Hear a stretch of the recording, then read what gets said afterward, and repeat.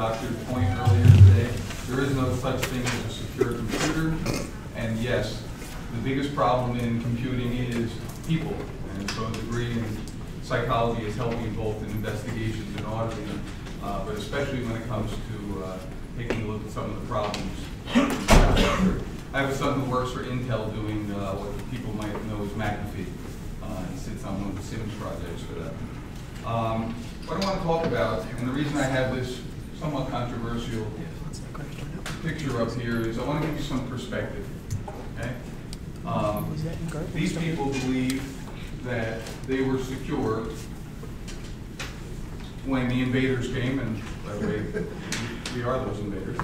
Uh, and the fact of the matter is, is that uh, they thought that they'd be safe, and here we are 200 years later, and they were wrong. And I think that today many people believe that um, cyber has problems, uh, but I'll tell you further that um, what's going on in the cyber community is that we are completely overwhelmed.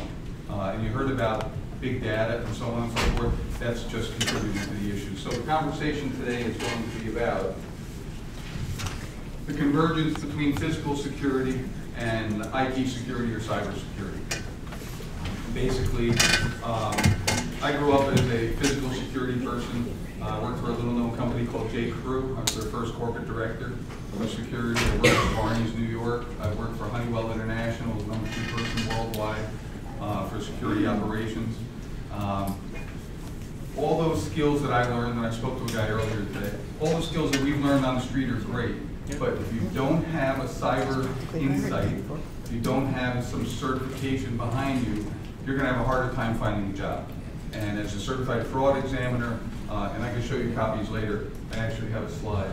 Um, some of the jobs that are out there today for people at my skill level are, and they're asking for it, do you have a CPP, which is the Association of Certified Fraud Examiners, Physical Security. It's actually called the um, Certification for Protection Professional, but it means physical security. Um, but they're looking for other stuff. CISSP, anybody in here have a CISSP? Anybody ever heard of it? Excellent, okay. Uh, I'm studying for it right now, hardest exam I've ever taken in my life. Okay. Um, the reality of it is, is that corporations today don't want to have a head of physical security and a head of IT security. It's complicated by the fact that the people in IT, how many people are in IT here? Strictly IT? Well, they don't want to handle guards, locks and alarms. Okay? And the people in physical security are not up to snuff for the most part, right? The majority of them are not up to snuff on IT. So we have a problem here. The conundrum is that there's 1.1 million jobs open today that can't be filled in this country. Simple as that. How many people in here speak another language? Okay, more than one? More than two? Okay, more languages you speak, the more you know about other cultures, the better off you are in this field, especially when it comes to cyber, because not everything is typed in English. So we're going to talk about this. Um, I'm going to go through this pretty quick here. Um, I'm supposed to have 50 minutes. I don't know what's going to happen if we have a gap here, so I'll do my best to cover it all. Uh, we're going to talk about defining convergence. What is the convergence that's going on and why? Physical security versus IT. Currently, what we traditionally think physical security is versus what we traditionally think IT security is. Uh, related security functions, there is blending. An example is uh, CC CCTVs or closed circuit television. Um, they're using analytics and so on and so forth the last 10, 15 years. Um, so they're tied into our computer systems. We're going to talk about threats. We're going to talk about the risks. We're going to talk about the needs. And we're going to talk about the opportunities for your careers. Just simple as that. As a loss prevention person, an investigator, law enforcement, uh, certified fraud examiner or a CPP, you get the IT skills behind you. Um, I'm going to show you there are, there's a corporation out there right now. They're looking for a person that has those skills, starting wage 165. Don't raise your hand. Does anybody in here make $165,000 a year at their normal job? Yeah, I guess not. Right. Most of us don't. Okay. I own my own business and I struggle for that too. Okay. Okay, so let's define convergence. Simply put, uh, we're merging distinct technologies. All right? When we say technologies, I mean the physical world. Investigations, auditing, surveillance, so on and so forth, investigate, uh, interview and interrogation. Those are the people that are in the physical security, IT, security world. Then we have the IT devices, and these are just examples. Everybody knows that HR collects data on you, right? You fill out the application, uh, and they have HIPAA and some other things that are supposed to be protecting that information. Remember what I said, and you'll hear me repeat it, there's no such thing as a secure computer. Actually, I'm building one right now, uh, that every time you turn it off, the operating system evaporates and you have to use a stick to restart it. That's the only way to keep people away from doing my investigations. All right, so these are the different, some of the different areas, types of information. That's the definition. A maybe more simplified definition is this. Smooth transition of one or more technologies or one or more types of work that blend together pretty well and uh, put it in there, it says the transition is in your future. How many people in here have taken computer courses? Okay, about half, right? How many of you feel, um, and and you're gonna hate my next question. How many of you are thirty or under? Raise your hand. Well, that being the case, you're gonna love my next statement. If you're thirty and under, you probably are a native speaker, okay? Those people who speak another language, Mandarin, or I see many Asians, uh, that is your original language, your native tongue, all right? In computers, it's not my native tongue. I'm an immigrant. I'm learning another language. My son, and forgive me for the use of the word, my son says to me on a daily basis, uh, Dad, what are you, retarded? You don't know how to do that?" I'm like, really? He says, it's just an iPhone, Dad. Just do this and do that. Well, I had my first computer when I was 36 years old. I had a Macintosh SE, and my son sat on my lap, grabbing at the mouse. He took his first computer course at three and a half years old. He was reading at two and a half. Okay, smart kid, gets it from his mom. He's Japanese and Spanish, by the way. Smart girl. Um, So, physical security. Isn't this what you think of when you think of security guards? Right? Typical, right? It's probably not as well dressed, okay? Look around, the guard industry is one of the lowest paid industries in the world when it comes to security. And what is it that they're protecting? Every, assets, stuff, people, and so on and so forth. Really? You're paying them ten dollars an hour to protect you? Anyway, so protection of assets, supposed to be protecting people, property, profits, uh, our reputations ultimately. I mean, uh, you know, you pick up a newspaper and you hear that uh, Psyche, uh, that Nike is having a problem with manufacturing overseas somewhere because they're not following some guidelines, right? It's about reputation because with a good reputation, you make more money. So this is what people typically envision security as. So some of the basics about physical security are very similar to what you learned if you go into cybersecurity. Is that uh, we're concerned with uh, physical measures, and we basically are building the onion to keep things away from other people, whether it's the building or the outer office, and so on and so forth. Um, these defense perimeters provide an opportunity to defend the corporation, um, but these are also used in similar ways when it comes to information. You know, we have routers and firewalls, and, uh, antivirus, and so on and so forth. But um, the equipment that we use now has become more and more digitized. I'll see some examples here. All right, more and more digitized. So over the last 20 years, the cyber world has been creeping into the security world. All right. Unfortunately, physical security people haven't really taken that to heart and started learning a lot of cyber. Thus, we have a shortage of people that we can use to do some of this needed work. This is a great photograph. Who wants to tell me what's wrong with this photograph? Okay. It was taken. It was taken, who said that? Nicely done. Yeah, Well, you're right. But that it was taken, and, and probably from a drone, right? It's something we didn't have twenty years ago. Uh, think about it.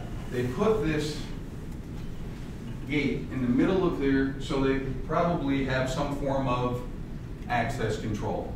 All right? And so what happens, how many of you have forgotten to take your ID badge to work with you? Okay? And so what do they do? They drove right around it. So, all the money and the time and expense, and again, this is a problem, maximum security entrance, right? Uh, This is a problem, uh, and there's a greater problem here, because I worked on a case years ago uh, where a rather large retailer had a situation like this, but they didn't want to put a fence up around it because they thought it hurt the aesthetics.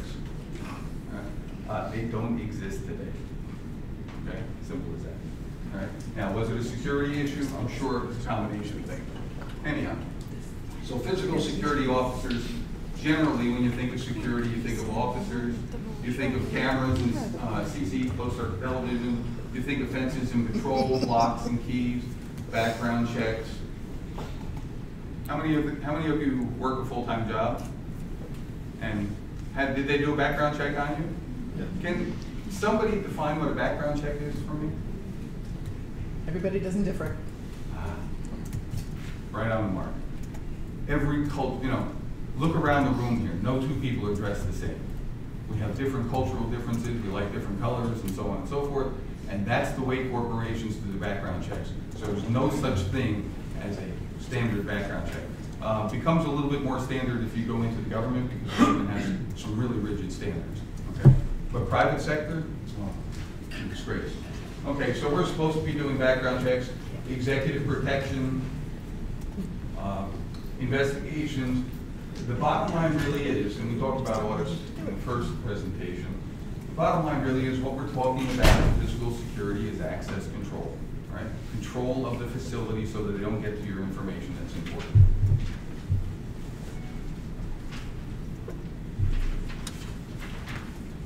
Just a second here.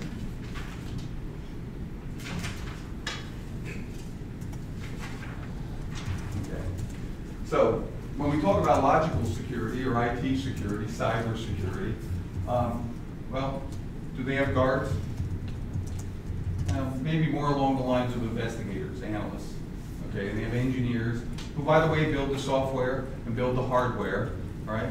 Um, and you heard mentioned in the first presentation that um, there has to be um, a way for them to connect because they're not, you know, they're built individually for their own purpose to make money. And now, uh, we'll talk about TCP IP, which is the language or the, um, the controls that's used for a computer to speak to another one. Talk about that in a minute. But the point is, is the engineers build it what they want. Software is turned out, it doesn't have enough security. Hardware, same thing. Does anybody know what firmware is? Anybody ever heard that term? What, you- what- what's firmware? It's proprietary internal. You- Go ahead. Yeah. Um, it- It's the opposite of open source. Okay, well, uh, inside every piece of hardware is a line or two, for lack of a better word, it's an oversimplification, uh, is a line or two of code. Uh, And uh, actually, uh, that allows the hardware and the software to talk together, okay, or talk with other hardware. Um, So this is what our cyber people are working on, and by the way, interestingly enough, what are they trying to do? Other than make money, that was mentioned earlier, is access control. They're trying to make sure that people can't get in on what they've just developed and modified. Um, So, I give this presentation to high school groups that are uh, involved in IT security, um, involved in law enforcement, and some of the tech schools. I've lectured here at Rutgers quite a bit, both here in New Brunswick over the last 20 years. And uh, I put this out there because, you know, today we have gone to the moon, we have satellites that have traveled, I don't know, hundreds of millions of miles and stuff, all because of two bicycle mechanics. And so what I propose to the students, and maybe even to yourselves, is um, maybe we need a better internet. Maybe, maybe we need a different internet. Um, But we won't know that until someone comes up with the next idea. And, and I gotta tell you, um, I have a seventeen-year-old who I mentor. I- I mentor fifteen students, some of which are Rutgers students, uh, from high school to PhD. Um, I have a seventeen-year-old who has a quarter of a million dollar business running right now, right? Three weeks ago, he signed a person for eighty thousand dollars, um, paid a year in advance, all right, for his IT work that he's doing. He graduates high school in six weeks. How many of us owned our own business when we graduated high school? Mowing lawns, yeah. Yes, you're absolutely correct. I did buy my first lawnmower for twenty-nine dollars, and I shoveled too. Uh, But if two bicycle mechanics can launch us into the, the aviation age and into space age, really, all right? Who knows what might be done with some of the young people we have? And you heard again earlier in the presentation, I think doctor hit it right on the mark, and says, you know, we can't even imagine what's gonna be going on in computers in the next twenty years, okay?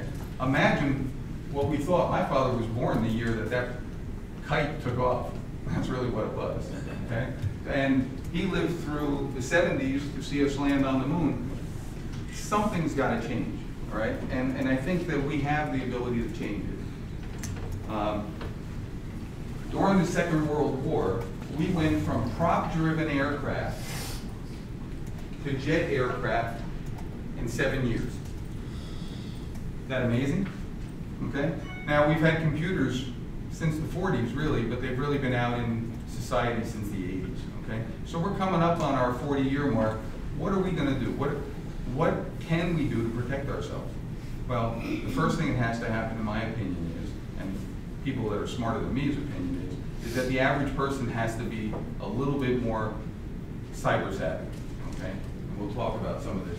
So, um, we're capable of creating innovations when we need them. You know, the, uh, during the course of war, it seems that we come up with some of the greatest inventions, you know? Um, What's the mother, uh, what's it, necessity is the mother of invention? Absolutely is what happened here, okay? And it doesn't matter who produces them, the bottom line is, these are two of the top aircraft. This was the fastest fighter during the Second World War, uh, that was propeller driven, and this is the fastest, actually, and the first operational jet fighter in the world. We did that, people like you and I, okay? Today, we have these aircraft, and this is not the exact aircraft, but we have vertical takeoff aircraft that are fighters, right? We have satellites, we're building space stations. Um, again, um, do you think the problems on Earth are gonna end up inside that space station? Sure they are. The problems with cyber are gonna be everywhere. Cyber touches everything. It's, cyber is like oxygen. It's everywhere, right? And it's around you and in you, and that's the way it's gonna be. And if we continue to morph, but the security industry, especially physical security industry, is moving kind of slow. Okay. Um, These are uh, nine of the most, guess nine of the categories most frequently used uh, for malware, worms, whatever, attacks against uh, corporations. Has anybody ever heard of ransomware? Okay. Um, I ran into a person last week, actually the week before last, uh, down in Princeton, works for an architectural firm, who told me that his firm actually got attacked with ransomware. They wanted seventeen thousand dollars, okay? And then they would give him back his information, okay? Now, um, I belong to InfraGard, which is a uh, infrastructure outreach program for the FBI. And uh, the rule of thumb is, we don't pay. You shouldn't pay, because it's like standard blackmail. They're gonna keep coming back to the well for money. Anyhow, so he went to his IT company and said, these people just got into our computers, and we need you to get in here today and take care of it, what's it gonna cost? And he was told fifty to seventy thousand dollars. Raise your hand, tell me what that man did. Seventeen And paid the seventeen thousand dollars and had his stuff back in twelve hours. Okay? Now, I think that's just the start of his problems, but the point is, is this is going on in healthcare. Now, who in here sees a doctor on a regular basis? All your information is in that office. And imagine if somebody gets it, now HIPAA says that you have to do certain things, you know what HIPAA is? Okay? But what is it? HIPAA is baloney. Okay. And it- only took five years to even get up to stuff, right? Uh, I, I can speak from a personal experience. Okay. Um, Prior to HIPAA and so on and so forth, actually, when I owned my first company, uh, we actually started out as a hotline company for reporting theft and fraud. And then later on, people said, well, we don't have a security department. No surprise, right? Corporate America, no security department. And so they say, can you investigate for us? Sure I can. I built my first company that way. But the point is, is that they get into the help, uh, they get into any computer that has your information. How many hundreds of millions of files have been loosed out on the internet? And by the way, you know that old saying about, once it gets on the internet, it never comes back? You know, you can't take it down? That's pretty true. It's out there in some corner. So these are the, the areas that uh, generally are considered to be the uh, uh, 92% of the security incidents. Um, crimeware, that's the, the ransomware, espionage, I mean, uh, look at what, um, what's his name, uh, Snowden. Look at what he revealed to us was going on, not just in our country, but around the world, uh, based on some of the things.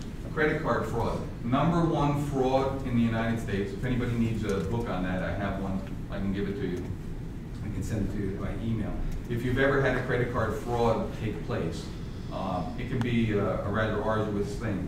A friend of mine from Rider University wrote a book on it, and, uh, and we just give it out. But the point of it is, it happens in the United States ten thousand times a day. Ten thousand times a day. Amazing, absolutely amazing. Um, if anybody in here, I mean, does anybody have any substantial computer background, anything at all? Any certifications, any training? Okay, well, hopefully, uh, some of this will make, oops, I'm sorry. Um, okay. So I want to say a couple things here. Uh, This is a 2015 pie chart on uh, types of attacks uh, that were uh, noted on, uh, by several, several different companies use the same pie chart. But Bottom line really is, these are the types of attacks. Um, I'm not gonna go into them all, primarily because I'm not an expert in those areas, as I told you, I'm studying. But these, you know, we know what malware is, we know that uh, denial of service, DDoS, denial of service attacks, you know, you just have somebody's uh, computer dial the phone number or go down to the computer a thousand times a minute. Uh, But ransomware is a big thing. Um, The targeted attacks, the dollars, the dollars that we're talking in losses here, I'm gonna talk to you pretty quick here. Um, But uh, the dollars are amazing, right? And uh, I usually show a, uh, and I actually have it with me if we have enough time. I actually show people what a billion dollars in hundred dollar bills look like on pads. It's amazing. And we're talking about trillions of dollars being stolen, cyber or fraud, based on the uh, Association of Certified Fraud Examiners expectation. Um, Billions and billions and trillions of dollars being stolen through these methodologies and still with pen and paper. And some of the smaller companies aren't as sophisticated, don't have great computer systems. And we're gonna take a look at some of the stats here. Um, Is anybody familiar with uh, Verizon? You can go online and get this, by the way, it's free. Uh, Verizon does, every year, they do a data breach report. And uh, look at some of the information here, it's pretty scary. All types of organizations are being targeted, we know that already. Uh, In 2014, $400 million lost as a result to 700 million records being hacked. And by the way, this is only based on the people who responded, right? Who's taking a statistics class in here? And we love that, right? I know you do. But the point is, is that statistically, we don't have sound data because they only had 70 organizations report information to them. There's how many millions of businesses in the United States? Okay, alone, not to mention worldwide, okay? 80% of the penetrations are from outsiders, and that could be from Eastern Europe, Asia, um, even be a 14-year-old kid, know, who's just going through and rambling through, and for all kinds of reasons, whether it's criminal reasons, or they're stealing information, or destroying their high school records, whatever the case might be. 15% from insiders, which comes back to my point about background checks, okay? Now Snowden had a background check. Whether you like him or not is immaterial. The Bottom line really is, background check didn't prove anything. And how many, 11 million pages of information? Right, It's more than you've read in your, it's more than everybody in this room has read in their lifetime. That's how much information. Okay? Uh, And seven percent, and this is interesting, seven percent is, uh, penetrations are in collusion. And uh, you heard him mention earlier about the insurance frauds that were taking place. The guy from the inside working with some peers, and then what, seven, seven checks went to the same account up to seven years later or something. Um, It's amazing. So again, these are people problems, right? It's bad enough that we don't have enough security in cyber, and then you add the, you know, who, who came here, who's, who's working today and is actually on the clock at their business? Who's getting paid to be here? Yeah, my wife left. Uh, But the reality of it is, is why did you get up this morning? You got up because you need money to pay your bills, okay? What motivates you? Well, these people are motivated by money too, and they're willing to take the shortcuts, uh, and they're clobbering us, and I'll show you, like I said, if I have time, I'll show you what that actually looks like. Um, okay, Got a question? Right. sure, I'm sorry, go right ahead. You go back to your other slide, and I think just a, a point, I love stats like this. because Go ahead. They can be misleading. Yep, go ahead. Eighty percent of penetration are from outside. Um, I think what's more important about a stat like that is the penetration's from an outsider, but they compromise the insider's access. Oh, well, But- but It's you're right. important, it's important to make kind of those distinctions, certainly from security. Well, you're absolutely right, let's talk about that. So, does it, everybody, anybody know what social engineering is? Okay? The gift the gab. Right. okay? I, years ago, I would get on the phone, can't do it today, because it is illegal today, it's not illegal back then. I get on the phone, I'm doing a background investigation, and I needed information about this guy who just wrote a check that bounced, right, a couple thousand dollars. Pull up the bank and ask, hey, does he have that money in the account? Uh, no, he doesn't. And did he actually have that money in the account five days ago? Uh, no, he didn't. You can't do that today, all right? Now, that's one form of it, because they felt comfortable with me, but they never met me? Uh, anybody familiar with, uh, what's called a boiler room scam? All right? We are. You're a very knowledgeable person. I'm also CAMS, You what? C-A-M-S. Ah, okay. Um, boiler room scam. Thirty years ago, someone out in LA decided that they would, in the boiler room of an organization, they could hook up a couple of phones, and they would start selling toner, all right? So I worked for a security company in the last five years, I won't mention their name.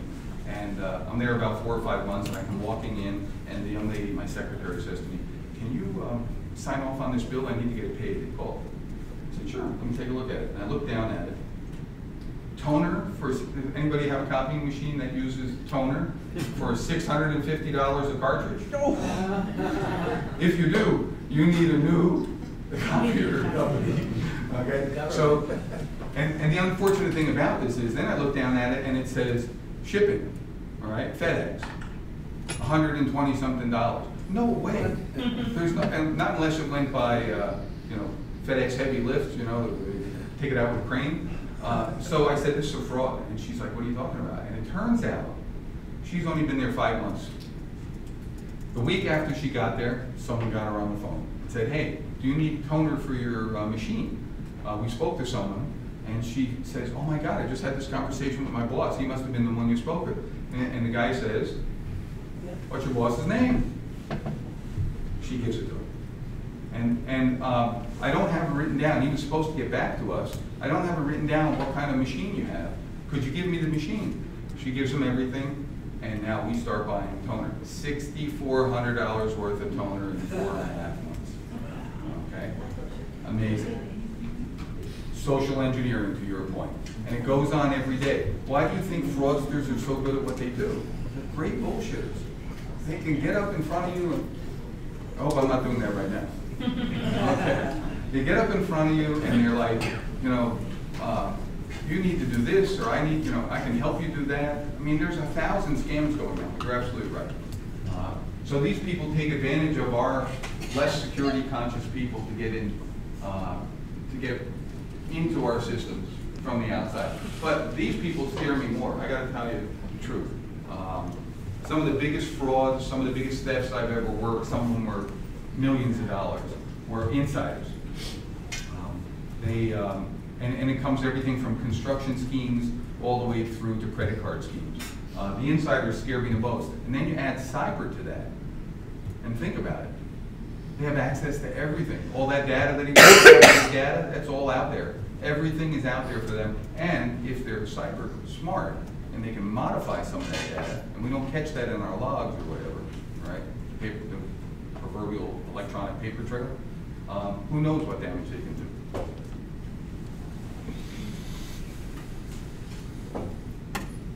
Okay. Um, I, I think the most important, I, you know, phishing is on the increase, and fishing is, uh, um, one of the forms of uh, excuse me, of, uh, social engineering. But, um, think about this, if you, and, and I don't know what policies your companies have or don't have, but imagine if you get an email that says, you just won fifty million dollars in the London lottery. How many of you people know somebody in London? Okay. How many have been to London? Okay. How many emails to these people on a regular basis? Who in your right mind would believe? Or Nigeria, the other one. Uh, well, yeah, that's, uh, what is that called, uh, four oh nine, no. Four oh nine scam? Yeah, I just had one of my PhD students write up on that. Yeah. It's pretty interesting. But, but the point is, is that if you've never been to London, don't know anybody in London, who in your right mind is gonna believe that we're gonna give you fifty million dollars, or whatever the money amount was, okay? But what do they do?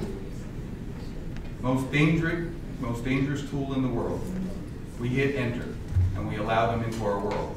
What should happen is, if you see something like that, you should call your help desk, and your help desk should sandbox it, so that basically is uh, terminology where they actually restrict it, and then they take a look at who's actually doing it.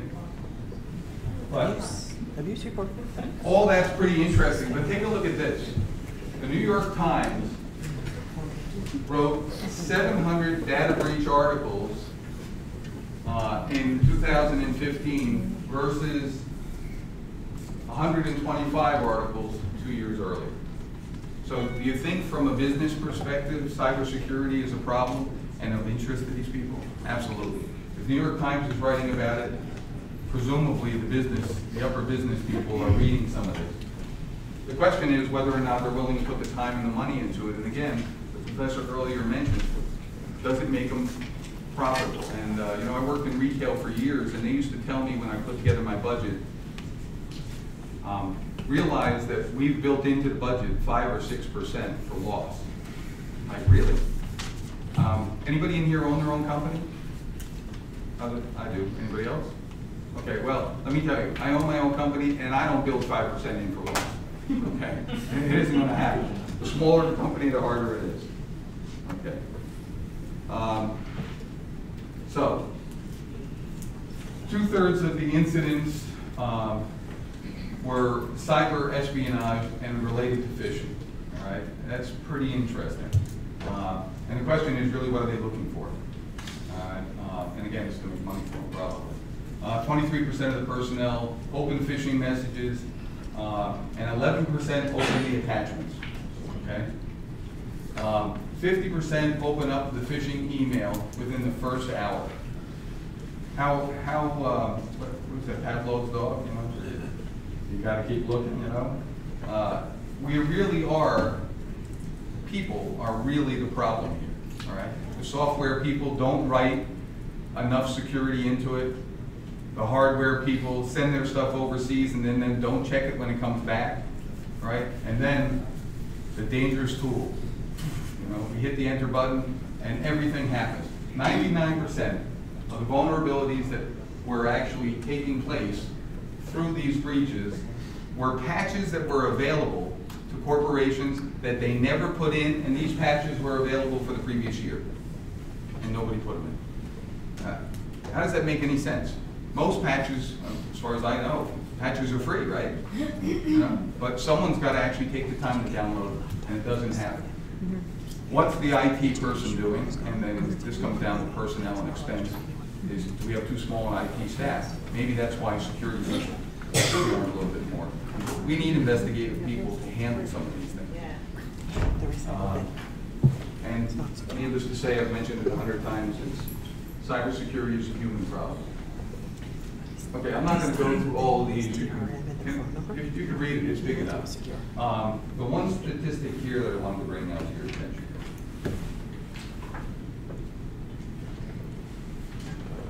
Um, let's see here.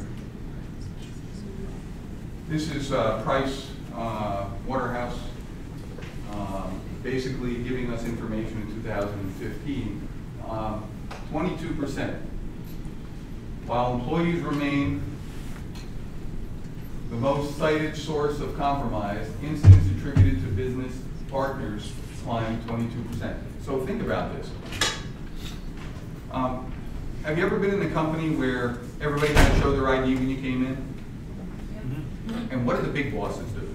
Walk right in and out. Damn right. Walk right through it. We're talking about partner level people, just doing whatever the hell they want. But whose jobs are they cutting? Ours. All right, because they're not gonna cut their own salary because they screwed up. Okay? So, go ahead. I don't think they're talking about executive level here. I think they're talking about cooperative ven- uh, companies like vendors and things when they're talking You about think so? Yeah. Uh, Well, let's talk about that then, all right? And let's talk about what Professor said earlier today, when we were talking about inventory, and you're outside to these other companies. Are they using the same software? And are they using the same level of security that they're doing? Who knows? Who knows? Yeah, and, uh, and when's the last time somebody went over and audited? Who- How many auditors do we have here? Do you do IT auditing at all? Anybody do any IT auditing? Okay, I, I would bet, and, uh, I, I've, I've been with some big companies, I would bet that if we went out there and checked those partners that you're talking about, I'll bet you more than half of them are not in compliance with the same standards that your company is using, if your company's using standards, okay? So you see part of the problem. But all the statistics don't mean anything when you're out of work.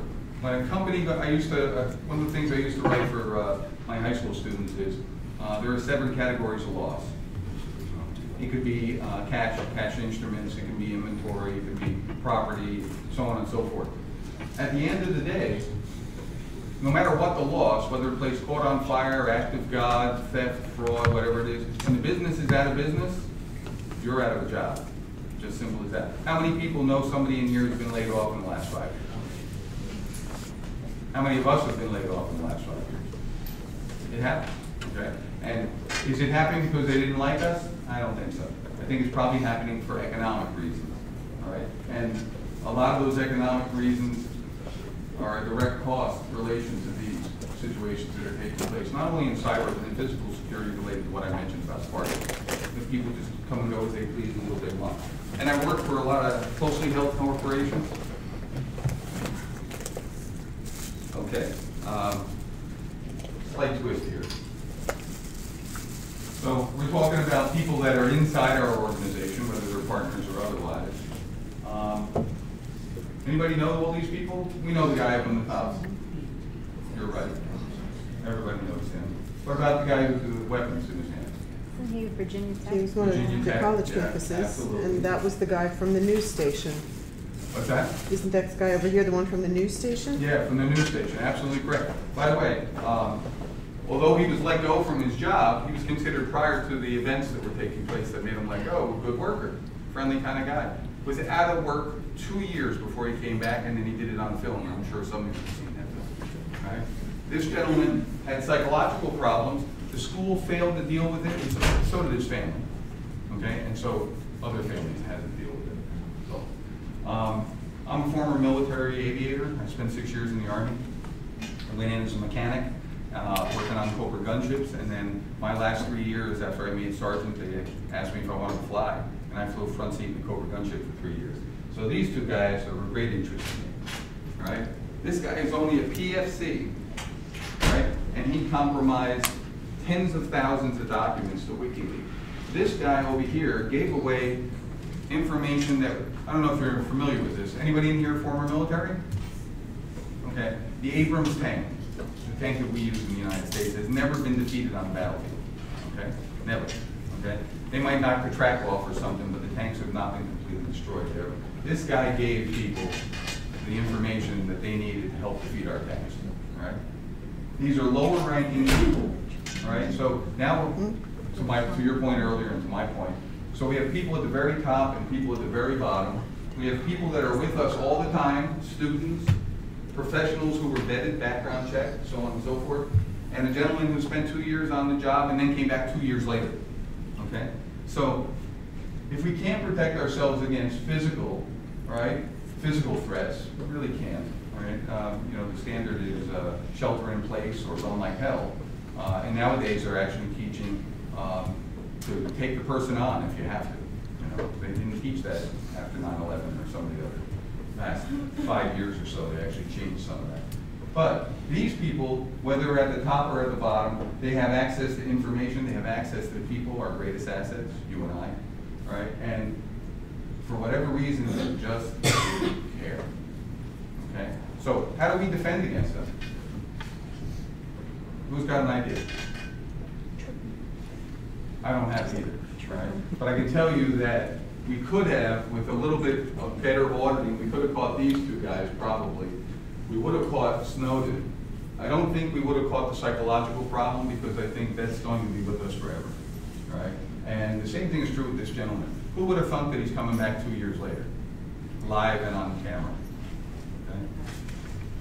Okay? So, you see physical security and IT security right here. So what's it all about? It's about access control. Bear with me a second. Okay. It's about access control and who should have access and what should they have access to? When should they have access? You know, uh, if you have a card that lets you in the building, it only lets you in during your normal business hours.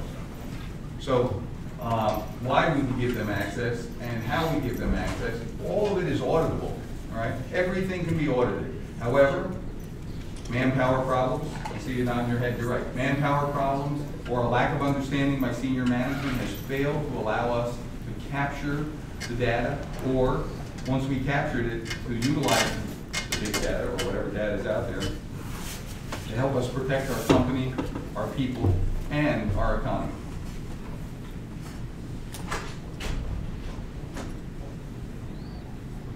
Okay. I love that movie.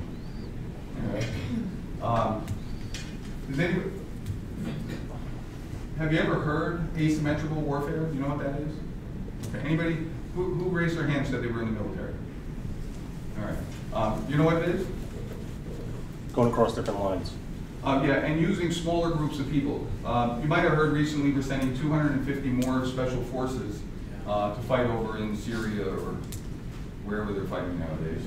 Um, and and the reason I bring this up is it's important. One person with a lot of knowledge can get into your computers and put you out of business. One person can come in and set off a bomb. Terrorism is asymmetrical.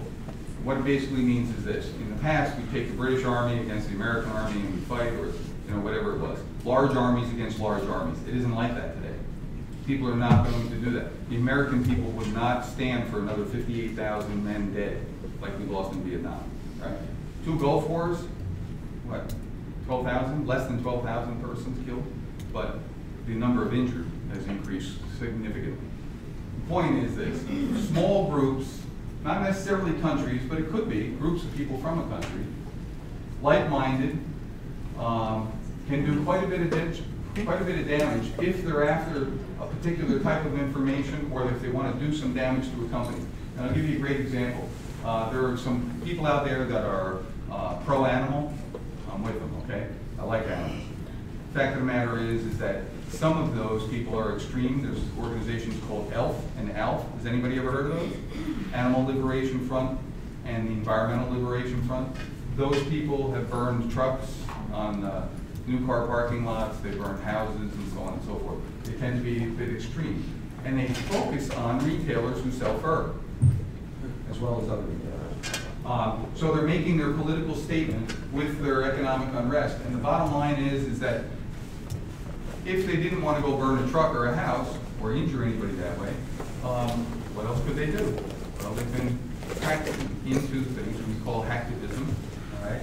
And they've been hacking into organizations and denial of service, you know, so that every minute they're getting a thousand phone calls or whatever the case might be. It's not a phone call, it could be on the computer. The point is, is these people, whether it's out in, out in the battlefield, small groups of uh, highly motivated people or small groups of highly motivated people on the computers, the bottom line is they can do significant amount of damage with little risk to themselves. Has anybody ever heard of Tor? T-O-R? Can you tell me what it is? It's the dark web essentially. Uh, Well, no, actually, it was developed by, the dark web? it was developed by the US Navy. Yeah, and then they opened it.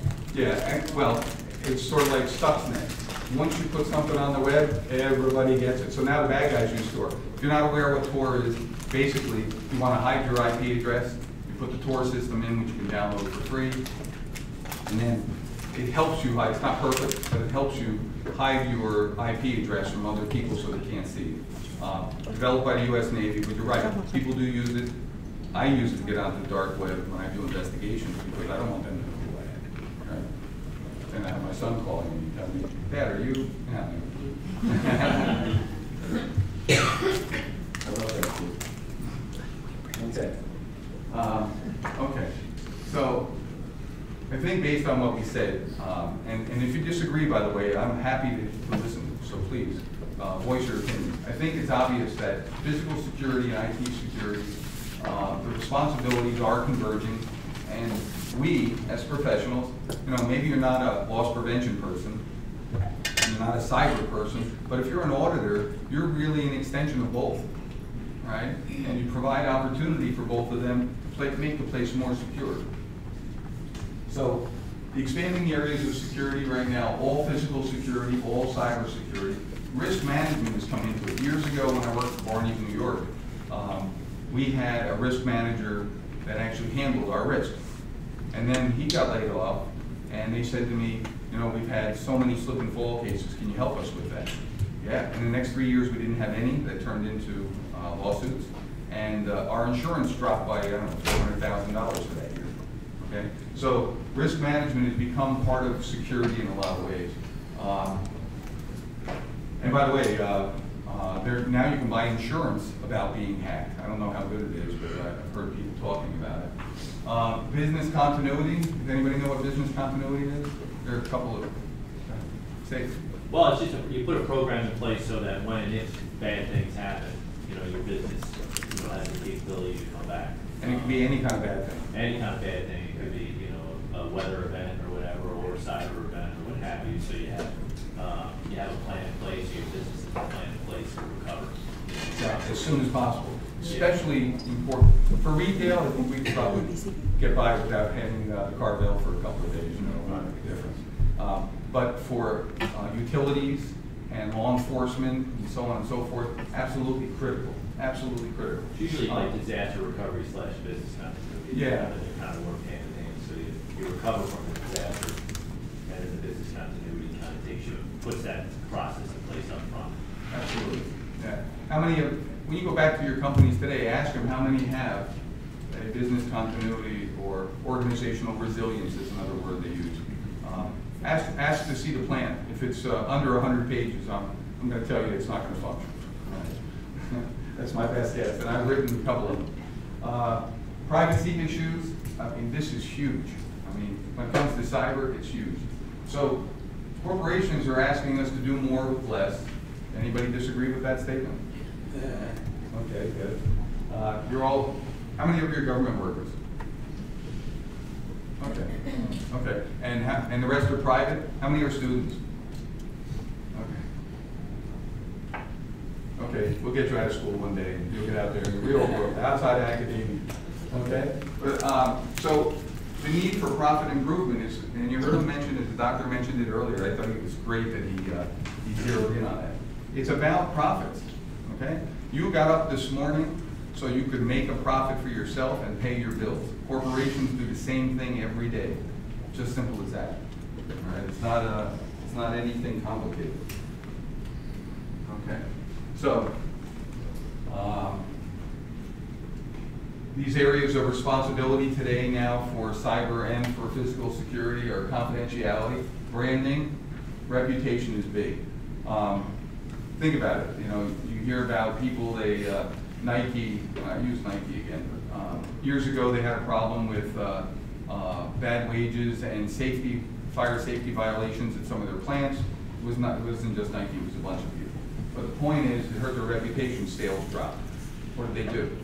They sent over auditors from the United States, and they made sure that they were using the same fire safety codes that are applicable at the highest level in those particular countries, because they don't many of them don't have the resources to do what we have here. So branding and reputation, very, very important. They impact corporate profits, and interestingly enough, they impact national security. Okay? Uh, do you remember uh, the president sometime back saying, uh, we want you people out there spending money? Well, yeah, because the more money you spend, the more taxes, et cetera, et cetera, more jobs are created, which brings more taxes, and so on and so forth. Um, So preservation of our economy's strength is important overall. Oh, I'm not gonna go into this. In fact, How many settings? How much know. time do I have, Carl? You have until noon. Oh, All the speakers are no-show, so they're covered. okay. Well, I'll have to ask more questions if you guys can ask questions. Uh, Okay, because I, um, we'll talk about it later. Okay, we're good. Take your time with this. I should have brought my uh, cane and tap shoes with me. Um, Okay, so um, this is just a a breakdown of IT security components. Um, And, and, and I don't look at it strictly as IT security anymore, I'm looking at it as security, period. Um, And again, as I mentioned, corporate security doesn't want to pay $160,000 a year for an IT vice president and $120,000 a year for a physical security person. They're, gonna- they are emerging already. Um, When I was out of work a couple of years ago, I was looking for a job, and two things came to light. Number one, they wanted me to have more computer experience than I had, um, and a certification preferably, right? The other thing was, if you're over sixty, overqualified, and you're of work, that's to it. Uh, So get your, collect your money while you're young, right, put it in the bank. Um, So I, I decided to go out and start my own company, but these things don't change, and the smaller the company is, the harder it is for, to do all this. Right? The large corporations have the manpower if they want to put the time and money into it. Small corporations, I'll bet you half the businesses in the United States don't have any of this, or hardly any of it, other than maybe um, malware on their computer, and they've uh, shut down some of the, uh, uh, what do they call door, back doors on their routers. That's about it. All right, so to take a look at this, and uh, it all looks like Greek to you, because most of you people said you didn't have any computers. But uh, I gotta tell you, it breaks down pretty easily, you know? If you understand what a computer is made out of, all the components, you understand what the router is, understand all that other stuff, then you just have to understand how they communicate. Uh, And we're gonna talk about that.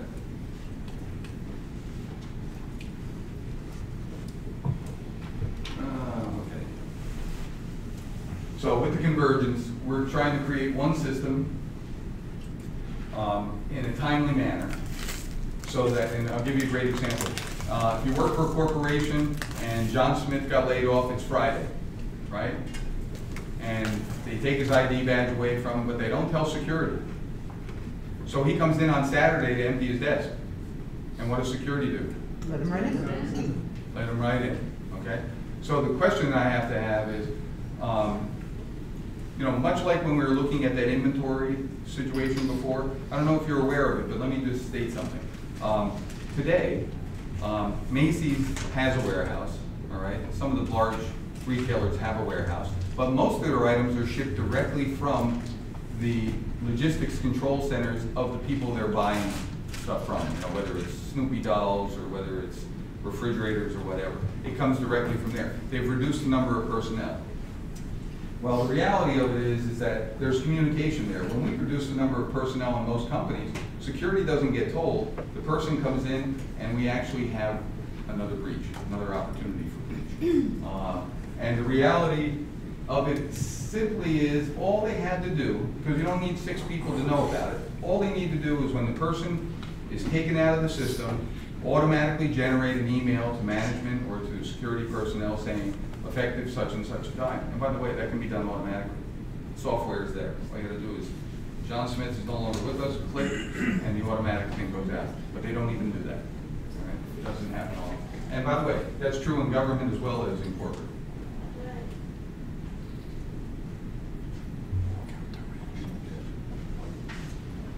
Uh, Okay, so we're looking for a unified network policy, and that's partly what I was just leading up to. There needs to be standard policies and procedures, and we have those in a lot of cases, but then our practices don't reflect those. the bottom line is, we have a policy that says when somebody leaves, everybody gets notified immediately. They wait till Monday morning. So the policy and the procedures are there, but practice is completely different. And how many of you are auditors? Have you ever seen the policy and the procedures are there, but the practice is completely different? Again, human nature, right? That's where we make our bread. I hear you laughing up there, so you gotta be right on the mark, huh? Daily. Human nature again, all right? Um, So better coordination of security resources. If that guy was being let go, maybe you should have had, and you don't, maybe you know that the person is a little bit uh, upset or violent uh, or emotional, and maybe you ought to have security in the area. So why don't you notify us in advance, and we could have someone in the area. We're not gonna escort them, we're not gonna embarrass them, we're not gonna take them around, but we should be notified in advance. And then, once the person's out of the building, maybe even security could send out that email. You know, just a thought. Um, For forensics, uh, a lot of what, a lot of the information regarding thefts and frauds that I've worked on in the last five years has been all on the computer. Nobody, I mean, I write my notes on here, but then I put them into the computer. Um, the Reality of it is, is that forensics investigations are not done by human resources. And generally, they're not done by the computer IT department. They come to security or loss prevention or asset protection, whatever they're calling it, and they ask, you guys need to do an investigation, and then what do we do? We go back to them and say, hey, who do I need to work with in your department? Okay? It'd be easier if we just had access to it and we knew what to do with it. We wouldn't have to have another one of their people in there. And by the way, the more people involved in an investigation, the more likely something's gonna go wrong, somebody's gonna open their mouth, right? Um, Has anybody ever had a problem like that? Someone loose lips sink ships, you ever heard that? That's an old military thing from the First World War. Uh, I try to keep, whenever I do an investigation of any type, I report to senior management. If it's a client, I report directly to them, to nobody else, right? Because I don't want to get out what's going on. Um, Assist the company with compliance and investigations efforts. And uh, because we're more efficient, I think there's a greater return on uh, our investment. Um, Corporate America um, doesn't always see it that way. They see, you know, how many of you uh, go out for drinks with the guys or the girls on Fridays and Saturdays around work once a while, once a year, twice a year? When's the last time you invited security people? You see, perfect reaction. Exactly right. Okay.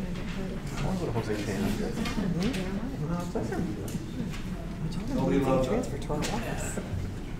But that's okay, because you're supposed to have a a separation.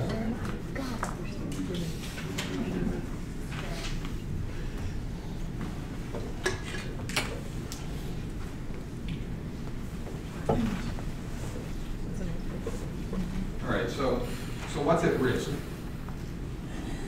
Um, First of all, your jobs are at risk. Corporation goes out of business, and you've heard about them. Uh, One of the first corporations to actually shut down, uh, and I can't remember what that, what that was, but the guy put a worm, he, they gave him two weeks' notice that he was being terminated. And so he, he was, uh, an IT person, he put a worm, it was right here in New Jersey, down the shore. It's gotta be ten years ago. Uh, put a worm in there that thirty days later, the worm activated and clobbered their computer system, shut them down. They up going out of business or actually having to rebuild their business from scratch. Uh, So your jobs are at risk. Our corporations are at risk. Uh, And corporations, with some exceptions, uh, are the foundation of our taxes along with us. Um, Our is at risk, and you hear people talking all the time. Our way of life is at risk in some ways. If you take it from an international perspective. Uh, There are people who would love to see our economy fail. And by the way, if you're not aware, and the reason I put this up there, uh, the New Liberty Tower, if you're not aware of their intent, they, they thought they could take down the tower, but they weren't absolutely Al-Qaeda, uh, weren't absolutely uh, convinced that they could. So they were about as amazed as we were. But the point was, they were focusing on an economic symbol, okay, the World Trade Center. Do you know what the second uh, site would have been uh, outside of uh, what happened on 9/11? There was another site right here in New Jersey that was actually targeted. Anybody know? Bell Labs? What was it? Bell Labs? Prudential, Mhm. yeah, it was Prudential. Yeah, Prudential was on the list, and, and I heard later on um, that they actually, um, now they run counterintelligence, but actually at the time, there were some suspicions that someone was watching. But, you know, you're only paranoid if you don't get, don't get caught, right? So, who knows? But the bottom line really is on that, is that they're, if they harm us economically, right, then they harm us, right, I mean, right to the spirit of us, right? Uh, bottom line is that they also, um, they would love to militarily come to get us, but this was an asymmetrical situation, right? It was a small group of people, who, by the way, spent most of their time in New Jersey, in the Hackensack area, the go-go bar, before they got into those airplanes. Uh, Anybody aware of that? right? Um, And uh, what they were trying to do was embarrass us and harm us economically, and that's really what took place. So, without overstretching it, I think that ultimately, security provides us our freedom, right, both cyber and physical security. Um, So what's needed? Um, You heard me mention earlier that there, a year ago, the government, our government put out that there are 1.1 million open jobs in the US that can't or have not been filled, okay? Um, I just want to show you something here, why I mentioned that. I went online today, I clicked twice, okay? The first one that came up is um, Deloitte and Touche. okay? Eight pages of cyber jobs. Eight pages, okay? New York, New Jersey, Philadelphia, only. Eight pages of cyber jobs, Deloitte and Touche. Then I clicked again, and I got Lockheed Martin, um, I got an accounting firm, I got a, a video organization looking for security personnel, IT specialist for InfoSec, all right, Department of Homeland Security. Um, There's a company called MITRE, anybody, M-I-T-R-E, anybody ever heard of them? Yeah. Um, I met these guys a couple of weeks ago over at Rutgers by doing uh, some work over there. And uh, these guys hire IT people left and right. They do a lot of, uh, oh, um, let's, let's put down research. I guess that's probably the best way to put it. But it's IT again, and that's down- at Langley Air Force Base. Uh, Department of Army is looking for people, Department of Navy is looking for people. Um, Alta IT, um, let's see, General Dynamics, and here's one that specifically says CS, CSS, CISSP certification or other security clearances necessary. Right, Citizens Bank, this was less than two seconds of work for me, all right? And I've got twelve pages of, uh, jobs, just in cyber. And I just put in IT jobs, that's all I put in. Now, um, any one of you that had a- a certification could apply for one of those jobs. The other thing I wanted to tell you about is, I went and I looked up what some of those jobs were previously, okay? An IT auditor, uh, 2016, 95,000 to 144,000, average raise is 4.7%.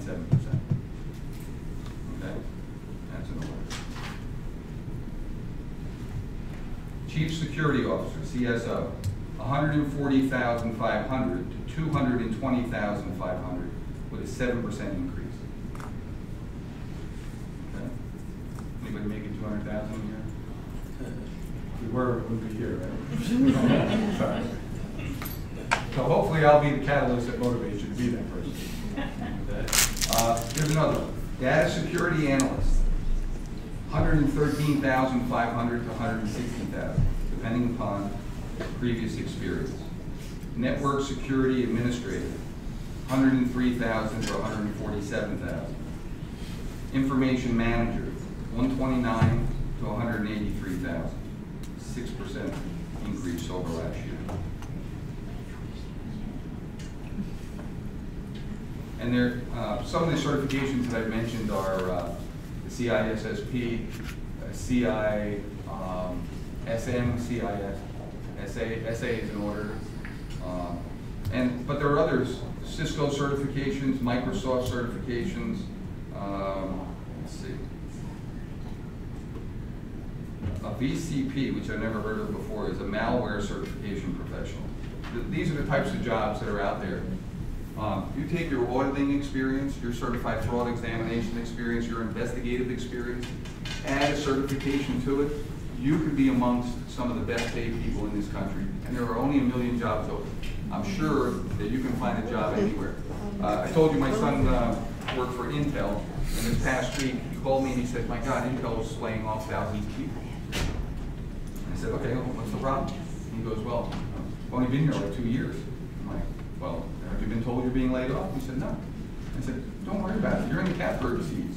You have an engineer, computer engineering degree, you have certifications, you work for Intel, you worked for an international company before that. You went to, anybody ever heard of Case Western Reserve University?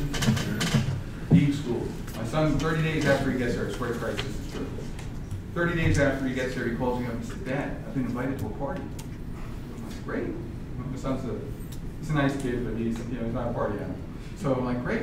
And he says, he follows up with, and they told me to bring my math books. I grew up in the seventies, I had hair as long as you did, you know, as long as you have right now. I didn't bring my math, even in high school. It's a different world. Okay, uh, so let's see what we got here. Uh, So we talked about the million jobs.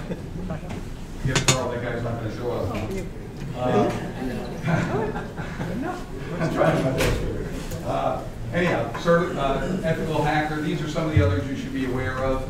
Great opportunities out there. And, and by the way, you don't have to know everything. You know, um, I learned, there's an old adage that says that a wise man knows he knows nothing.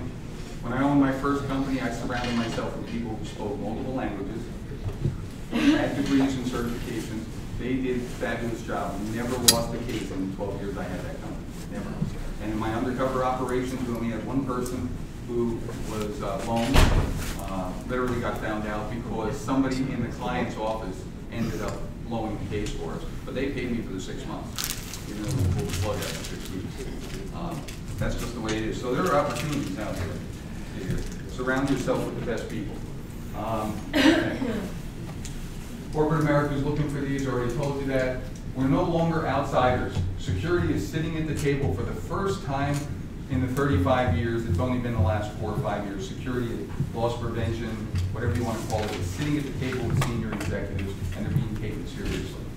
Um, And you're looking at better pay, and, and I know this sounds kind of lofty, you know, kind of hokey, but you can make a difference in your own lives financially, in your children's lives, right? Give them a better education or whatever you desire, and in your corporate, and hopefully helping our economic situation here in the United States. Yes, please, I'm sorry. Um, Certified Protection Professional, I'm sorry. Uh, That, um, when I was looking for uh, work, uh, know, a year ago or so, um, CPP was asked for as a physical security. It's actually called um, uh, Certified Protection Professional, right, which is a physical security situation. But if you have that, or you have an auditing certification, or a fraud examiner certification, and then one of the cyber certifications, you don't even have to do the zeros and the ones. You go right to the management level, right? And that's what they're looking for. Those are the opportunities. Um, so there are real good jobs available today. And there, and I did this only because I found this on the web and I thought it was great. They're, they're everywhere. Every time. My son lives out in Idaho, okay? You know what he pays for his apartment? Seven hundred dollars a month. It's, it's as big as, what's that? That's the gift that you're in Idaho. No, that's okay. So Um. I, I'm, I'm gonna tell you, that's exactly what I thought when I drove them out there. Have any of you ever been to Princeton? Yes. That's what Idaho Falls looks like. It blew me away. They have everything. There's nothing missing. I mean, they even have Carl's Jr., those big burgers, you know. Uh, but they have everything. It's really quite a nice place, and it's dirt cheap. Everything is electric. Uh, They have those big wind farms out there and stuff, in the open prairies. Um, Seven hundred dollars a month, and he complained to me last month that he pen- spent a whole forty dollars for electricity. I said, yeah, you, you wanna take a look at my mortgage, and what I paid for utilities last month? It- It's a beautiful thing, but you can, the reason, by the way, I'll just tell you why they're out there. There was a company called Nitro that was purchased, purchased by John McAfee, who used to own McAfee, which is the malware that you probably have seen on your computer. Uh, And the whole intent of staying out there was, and my son is part of this, he doesn't pay for health care, dental, he pays for his prescriptions, but there's a, a copay only, um, and so on and so forth, because they want the young guys, but they want them to work forty hours a week and spend the rest of their time with their family, quality of life. It's, it's, and by the way, there is fresh air out there. We don't get much up here, I guess. Uh, anyhow. What else? Okay, so, um, if, if you are considering what I'm talking about, the first thing you need to do is pick up a book, and I picked it up, it's called, uh, um, TCP/IP for Dummies. Okay, you know they have that whole series out there? This is how all computers communicate. There's more than one communication protocol, all right? But generally speaking, across the board, ninety-nine percent of the people in the world are using this, all right? And so transmission control protocol, internet protocol, the bottom line is everybody, every computer that you use is using this. Uh, That's how they communicate. Uh, It's agreed upon practices and policies and so on and so forth to ensure proper communication. And I had no idea, yes. What is the name of the book again? Um, TCP/IP for dummies. Uh, Any Barnes and Noble, uh, take my word for it, it, it really does a pretty decent job in trying to, uh, explain how they communicate. Because when I started doing studying for my CISSP, and forgive me for saying it this way, it was like me trying to read Chinese. It just, it didn't click. I didn't get it. Uh, and I can read some Chinese, right? My son had seven years of Princeton Chinese Language School, and I practiced with him for that time. And then I took it myself. But the point is, is that uh, it just didn't click with me. So then I spoke to some people that are in the industry, and they said, why don't you start at the basics? This is the basics. If you can understand this, you can pass the CISSP and some of these other things. So that's, that's my recommendation to you. And um, further to that effect, um, the Association of Certified Fraud Examiners, you know who we are, right? We have our local chapter, and with that, there are scholarships available, right, for people that are going to school to get their masters or whatever. I'm sure that they would help you if you're trying to get some certification. Um, All you have to do is ask. Frank, Frank? Oh, I'm sorry, go ahead, org for the ACFE. uh, What did I put? our- our Oh, I put website. dot com. New Jersey, I mean, New Jersey has website, Those, uh, so- acfenj.org, but that's the uh, national. The national, okay. So New Jersey has a chapter website as well. Uh, The uh, ASIS International, that's their headquarters, uh, but they have a New Jersey chapter. And I used to sit on the board, uh, and we used to give away 500 to fifteen hundred dollars to any student, high school, that's senior, that's going into law enforcement or cybersecurity, college, whether it's a master's or a PhD. Several of my students have gotten this money in the past. People if you want it, if you, you think you need the money, call me, I'll try to get you on there. Two hundred and fifty words, which you can type out in about three minutes, um, and, uh, get yourself on the list, and if there's money available and you're more needy, we'll get you on there, okay? Um, ISACA, I did this presentation for them a while ago. Um, let's see, hold on a second.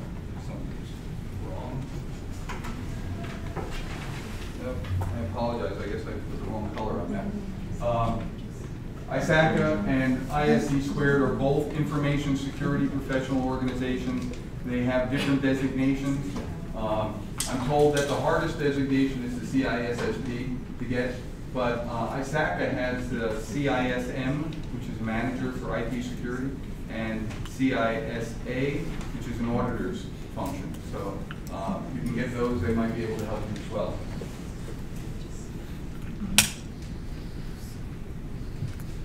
And, and you know what, I'm gonna, I'm gonna say this to you, and half my family is on the job as policemen.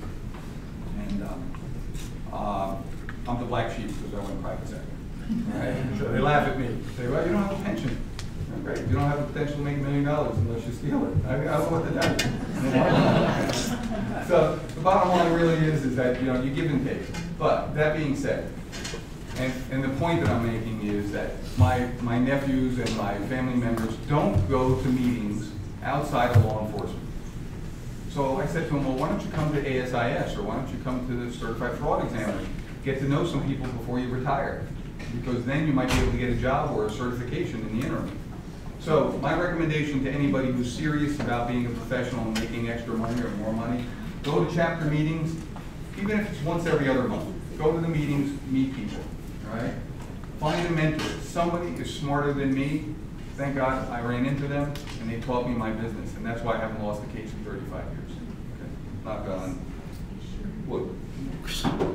Uh, Or, or mentor a student yourself. There's got to be some student out there. I do 15 students right now. Some of them are Rutgers, one of them is a high school student, which I mentioned earlier. The Rutgers student is in Dalro's class, um, actually owns two businesses. You know, these are good kids, these are highly motivated. Uh, So, but they could always use, and I actually met this young man for about two hours and we just talked and he asked me about business. And I said, well, if you think you need a hundred thousand dollars, you better go in with two hundred thousand. Because that's the way business is, you never know what all the expenses are. Join a committee inside there and network. Networking, here's what I teach the students. Motivation, motivation. You gotta love what you do. If you don't love what you do, you're gonna be miserable the rest of your life. How many of us are miserable?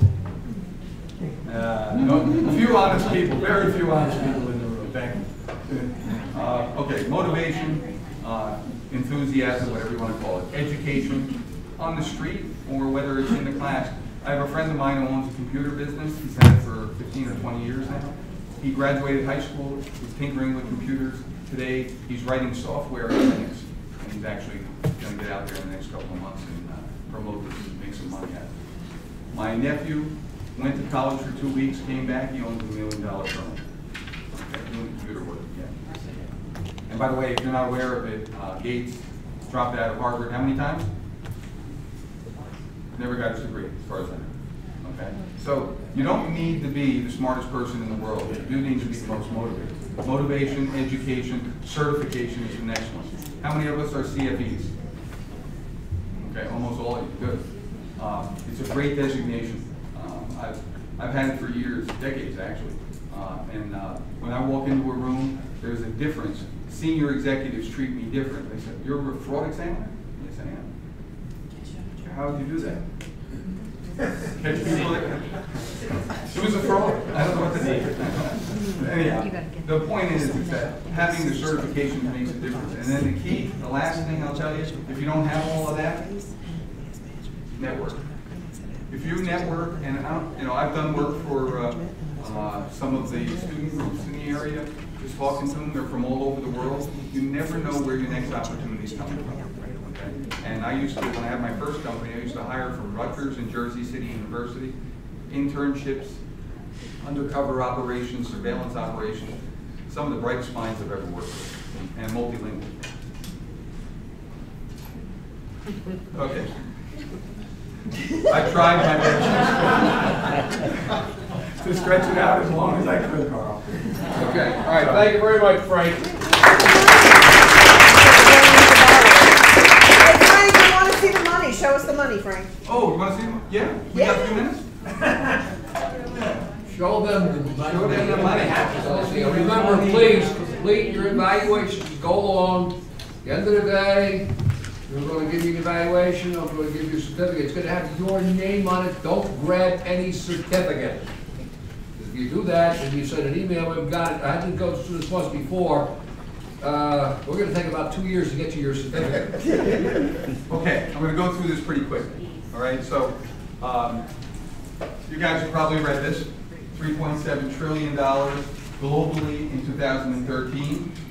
So let's see what this, let's see what trillion dollars actually looks like. So, you know why we have only a hundred dollar bill in the United States? Money laundering. Money laundering and one more thing. North Korea and, well, actually, Iran received two of our printing presses. And when we print American money, it's through uh, offset printing and intaglio printing. And they had two machines. When the Shah fell, they started, they said, well, how are we gonna get back to the US? Remember what I talked about, about economics? They started printing what later on became known as the super one hundred dollar bill. Nobody could tell, and some of the women who work in the banks, they can feel the money and know it's wrong. But nobody could tell the difference. That's why they changed the bill. When I bought my first car, I bought it with a thousand dollar bill and a hundred dollar bill. There are no thousands, that's the largest denomination we have. Okay? Um, That's what ten thousand looks like, half inch thick. This is what a million looks like, fit in your backpack, right? And, and if anybody has a backpack with that, please tell me, I'll be happy to guard it for you. Uh, If you wanna make a million dollars, three hundred dollars a week for sixty-four years and five weeks. Okay, anybody wanna make three hundred a week? No, my kid does that mowing lawns. Uh, This is what, four foot by four foot by four foot of hundred dollar bills, this is a pallet, standardized pallet. A hundred million That's what, three hundred thousand a week, now that's the job I want. Three hundred thousand a week, sixty-four years. Here you go, ten pallets, that's what a billion dollars looks like. You ready for this? This is the breakdown. And if you think theft and fraud doesn't impact on you anywhere in the world, this is based on seven point two billion people living on the planet, breaking down the amount of money we just discussed. Uh, three tri- three point seven trillion. At the bottom line really is, is hundred and, uh, eighty-eight cents per person per year. And that's probably off because we know about statistics, right? We don't know what the pool was, probably wasn't broad enough. And so here's what a trillion dollars looks like. Ready? Ten thousand pallets of hundred dollar bills. If you pull your truck up to the back of Rutgers today, we'll give you a pallet. All right? Is that amazing? And just think, that's only one trillion. Anyhow, thank you very much. Sandwiches, uh, we're gonna start lunch ten minutes early, be back here at twelve thirty, we hope to have you out here ten minutes at a schedule, we're gonna move up the schedule by ten minutes each event. So please go out, enjoy your sit out there, we pretty much run the students off. Uh,